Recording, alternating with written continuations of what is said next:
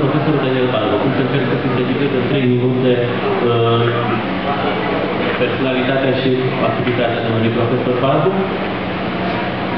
și am găsit două idei la care țin foarte mult.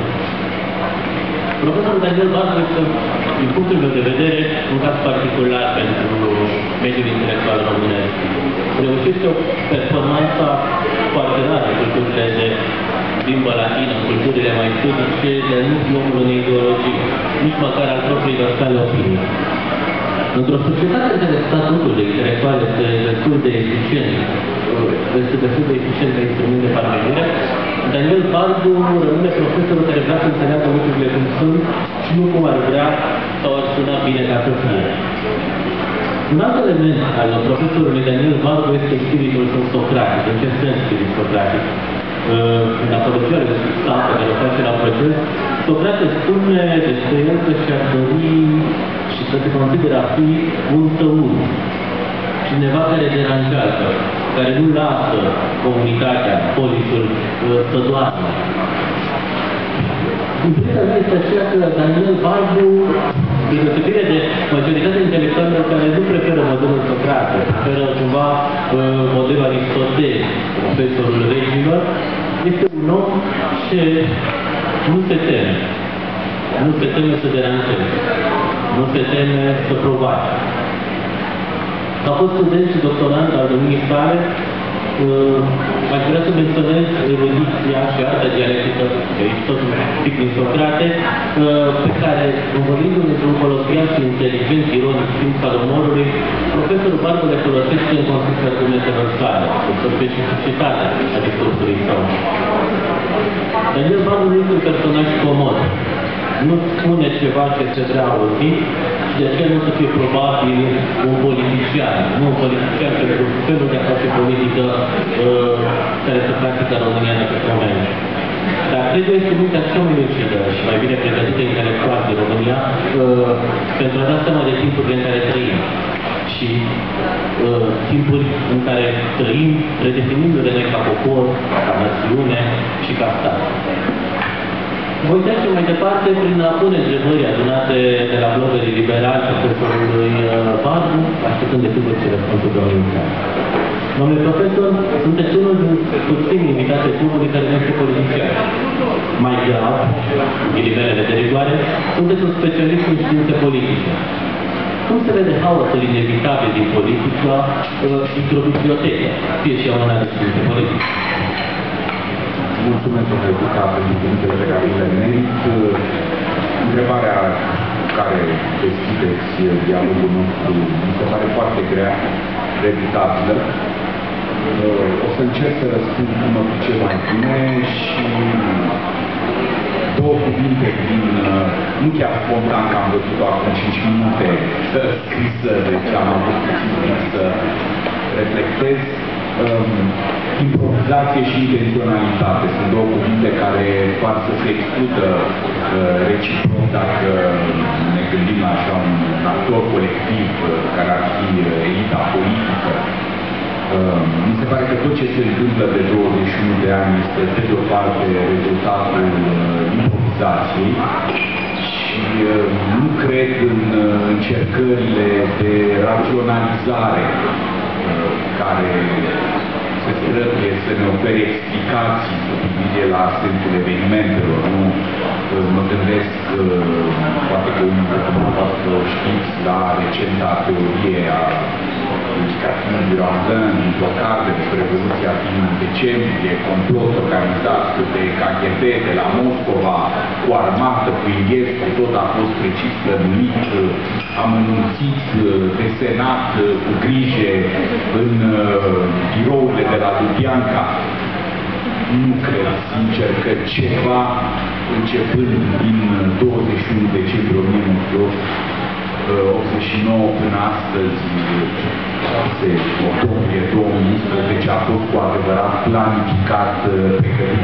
Nu cred că un actor că e vorba de armată, care a avut importanța ei acum 21 de ani, că e vorba de partide politice, că e vorba de um, cavalerii de industrie care sau, sau de comerț sau de alte de afaceri pe care nu prea știu să le uh, numesc, care s-au remarcat în uh, ultimii 20 de ani, de vorba de sindicate, nu cred că cineva a avut o gândire strategică. Cred că au fost tacticieni mai mult sau mai puține abili, în mod fainos îl consider pe Trean Băsescu foarte bun tactician, dar nu un strateg, nu văd niciun fel de uh, repet, agent public capabil să uh, aibă o viziune și să se doteze cu mijloacele de a o aduce peste luni, peste ani, peste două decenii uh, la îndeplinirea. Asta este versantul improvizației, versantul intenționalității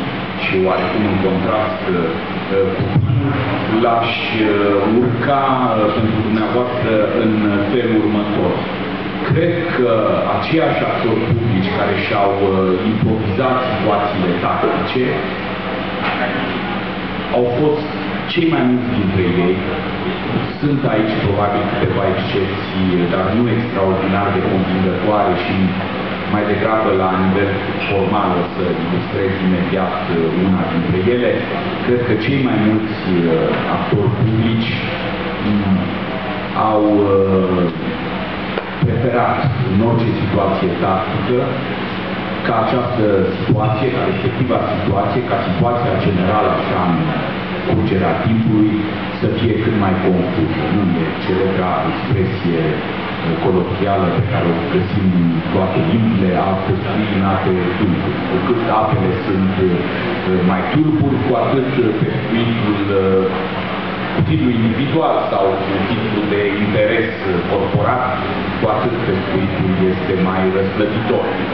Nu pentru că numai tu, profitând de abilitatea ta tactică, și să arunci un acolo unde presupui sau unde speri că uh, se găsește praza pe care o aștept. Deci cred că e vorba de un, o anomie uh, multă lume face această observație și este totul justificată, o anomie în bună măsură provocată, pentru că numai în situații de anomie se poate uh, marca uh, un scor uh, important uh, cu titlu individual sau, repet, numele unui uh, interes corporat. Uh, singurul exemplu, spuneam, sunt câteva de